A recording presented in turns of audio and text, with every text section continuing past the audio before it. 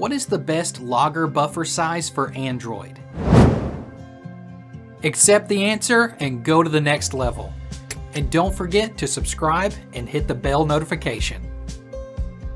By default, buffer size for logging is set at 256K, and you can set maximum size of each log buffer to 16M.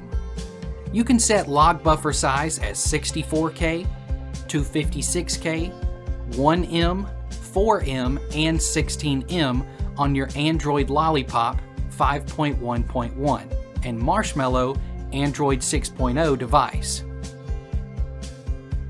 Enter the realm of knowledge. Here, you'll find the answer to all of your questions. Thanks for watching, and don't forget to subscribe and hit the bell notification.